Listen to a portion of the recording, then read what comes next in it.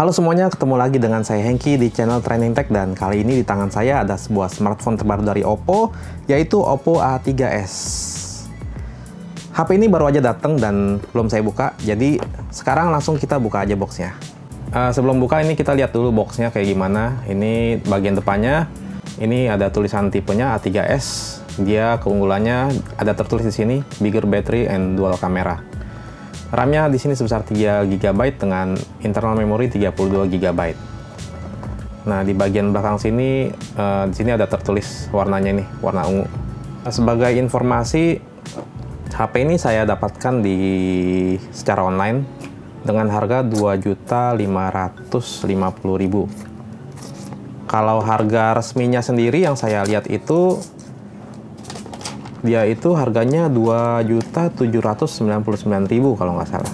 Linknya, link pembelian saya saya sertakan di kolom deskripsi. Jadi buat kalian yang mau beli, kalian bisa klik aja link itu. Oke, nah bagian depan sini ada box kecil. Isinya di sini ada SIM ejector. Terus kita dapat soft case, jelly case. Di sini ada buku manual dan kartu garansi. Terus di sini ada handphonenya. Kita taruh dulu. Nah, ini wall chargernya. Setelah itu kita lihat di sini ada kabel charger micro USB. Itu aja isi dalam boxnya. Sekarang kita langsung menuju ke handphonenya. Kita buka plastiknya ya. Ini tertulisnya warnanya dark purple, ungu. Cuma kesannya kayak warna hitam. Mungkin nanti di kalau di luar mungkin baru kelihatan ya. Warna purple-nya kalau di sini saya kurang begitu kelihatan sih, ada dikit-dikit sih. Cuma kurang gitu kelihatan. Ini saya lepas dulu aja deh. Saya lepas sama bagian depannya oh nggak ada ini ada screen protectornya udah terpasang seperti biasa ya HP Oppo ya. Di sini bagian depannya kita lihat ada kamera dan earpiece-nya. Bagian belakangnya ini e, mirip F7 ya. Seperti kaca gitu. Tapi kan F7 kan kita dibilangin kalau itu polikarbonat. Jadi ya kemungkinan besar sama nih bahannya. Terus di sini ada dua buah kamera dan dia nggak ada bumnya ya. Ada dikit banget sih. Coba saya taruh nih.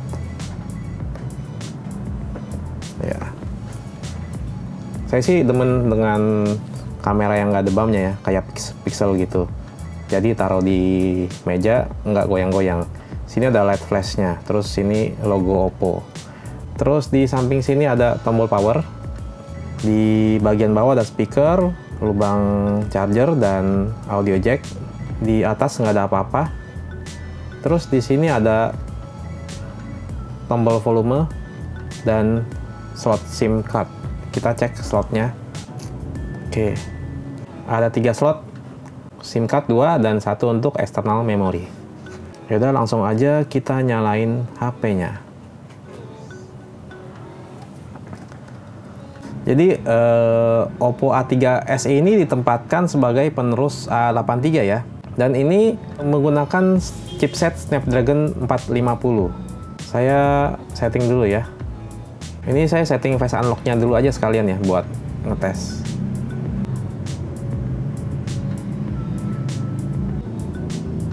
Oke, ini tampilan color OS, color OS 5 ya. Keren ya. Untuk tampilan pertamanya. Oke, jadi ini dia tampilan depan home screen dari Oppo A3s ini. Kita bisa lihat kalau bezelnya ini tipis dan di sini ada notch-nya ya. Uh, jadi mirip dengan F7. Istilahnya ini F7 versi murah.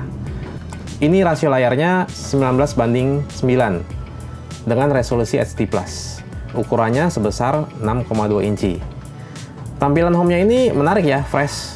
Oke, sekarang kita ke bagian settingnya aja. About phone. Di sini kita bisa lihat nih, color OS-nya versi 5.1, Android versinya 8.1. Lalu dia punya RAM sebesar 3 GB dan internalnya sebesar 32 GB yang available-nya 21,8. Oh iya, kita belum coba face unlock-nya. Coba face unlock-nya dulu. Di sini kita bisa lihat langsung kebuka. Ini kayaknya bisa disetting biar nanti nggak usah slide lagi, biar langsung nyala ya.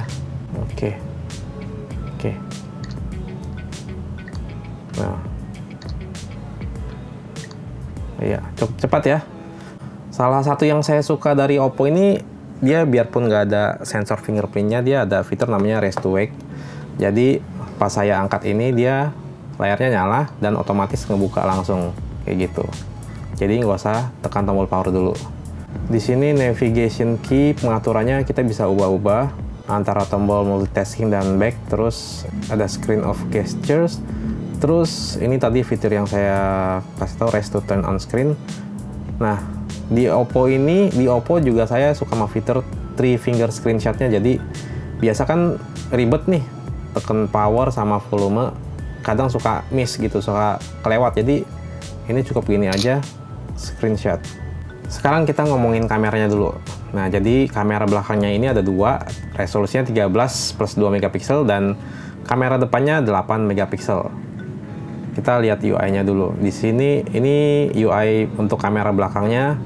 Di sini ada pengaturan flash. Oh, biasa off on sama auto di sana fill light. Standar. Wow. Saya offin aja. Terus di sini ada pilihan HDR off on auto zoom bagian bawah sini ada pilihan untuk video time lapse video foto portrait. Bisa foto portrait juga. Bisa untuk benda gak ya? Ini bisa untuk benda ya nggak cuma manusia ya objeknya. Untuk mode portrait ini sama uh, ya di sini ada beauty juga, mode beauty juga. Sekarang kita coba autofocusnya. Ini autofocusnya cukup cepat ya. Tuh.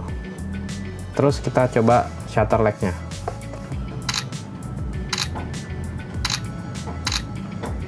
Kurang cepat ya. Sekarang nyalain HDR-nya. Ya, itu dia shutter lag-nya kalau pas HDR dinyalain dia lebih lambat lagi oke ini UI kamera depannya di sini ada pengaturan flash terus HDR-nya off on dan auto. Di sini ada mode portrait juga depth effect. Terus ini beauty-nya. Oh dia punya AI beauty juga sama kayak di F7 sekarang kita coba shutter light-nya. Terus kalau pas HDR kita nyalain, kita onin, ya tambah lambat lagi. Untuk videonya, kamera depannya bisa merekam hingga Full HD. Dan kamera belakangnya juga sama, Berikut ini saya tampilkan contoh-contoh foto yang saya ambil menggunakan kamera dari Oppo A3s ini.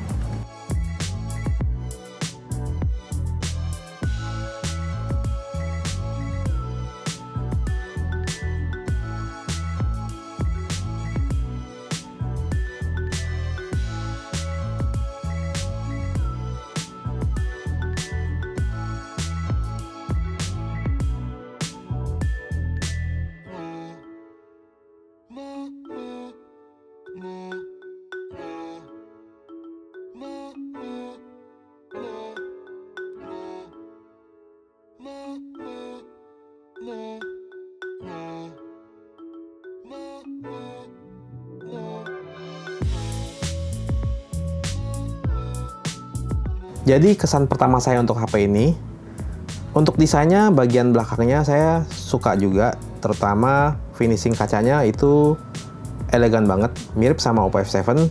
Cuma ya itu pasti ini fingerprint magnet banget. Tapi bagian yang paling saya suka itu di bagian kameranya sini yang nggak nggak menonjol. Ya ada sedikit banget sih, sedikit banget. Terus untuk bagian depannya juga layar depannya ini, uh, dia kan uh, full screen dan bernotch. Jadi dengan harga 2 juta setengahan berarti ini adalah seri termurah Oppo yang berdesain layar seperti ini, bernotch ini. Resolusi layarnya juga walaupun cuma HD+, tapi dia punya layar yang enak dilihat. Dia viewing angle-nya itu luas dan di mata itu nyaman. Oh ya, satu lagi keunggulannya yaitu pada kapasitas baterainya yang 4200 mAh, sekitar 4200 mAh. Dia juga dipadukan dengan chipset Snapdragon 450 yang punya performa mirip dengan Snapdragon 625. Jadi udah pasti irit ya sepertinya ya. Tapi e, nanti itu semua bakalan kita bahas secara detail di video reviewnya nanti akan segera saya kerjakan. Nah, buat kalian yang nggak sabar pengen beli HP ini sebelum nonton video review kami, kalian bisa beli di link yang saya sertakan di kolom deskripsi di bawah. Tapi buat kalian yang mau nonton video reviewnya, kalian pastikan subscribe channel kami dan nyalakan tombol lonceng biar pas videonya keluar nanti, kalian bisa dapat langsung notifikasinya. Oke, sekian video unboxing dan kesan pertama dari kami. Sampai jumpa di video berikutnya.